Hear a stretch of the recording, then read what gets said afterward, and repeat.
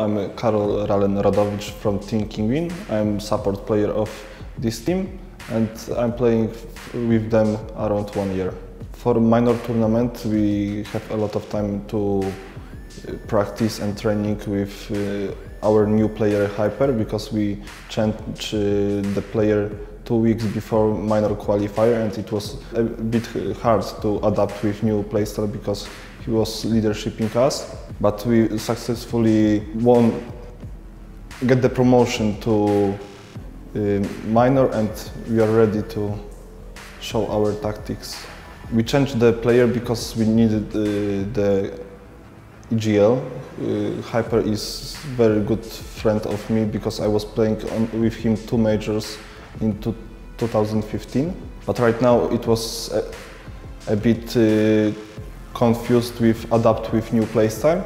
Hyper is leading us and some maps uh, Szpero is still leading because it was too hard to adapt with new playstyle on whole maps. And we need to have good results so we just decide to do something like that. In our group, I guess all of eyes will be focused on Envy. They think that they will get the promotion on first place, but we are ready to challenge them. We were playing versus them in ESL Pro League and we won 2-0. We are feeling more comfortable to play versus them than they versus us. In our group we are challenging big. We didn't play versus them uh, anytime I guess, so it will be kind of mind game I guess and everyone will, be, will try to do own play style, but we will be ready with tactics. And I guess we have good analysts like Lord, and he will be helpful for us.